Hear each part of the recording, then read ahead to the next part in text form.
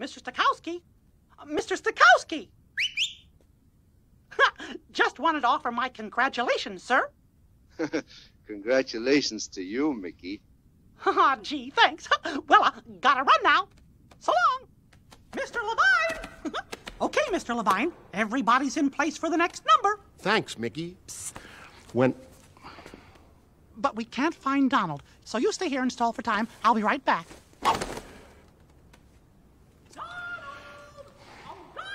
When we hear Sir Edward Elgar's pomp and circumstance, we think of a graduation ceremony. Actually, Elgar composed it for many kinds of solemn events.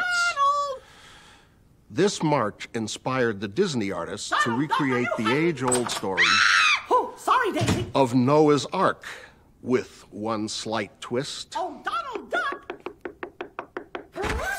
Donald, it's me, Mickey. You're on 30 Okay, Jim, he's on his way. Go to the intro. Ladies and gentlemen, Pomp and Circumstance, starring Donald Duck.